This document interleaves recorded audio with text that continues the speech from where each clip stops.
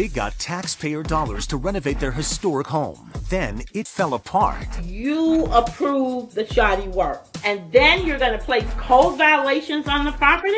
See how Michele Gillen stepped in to make it right tonight at 11.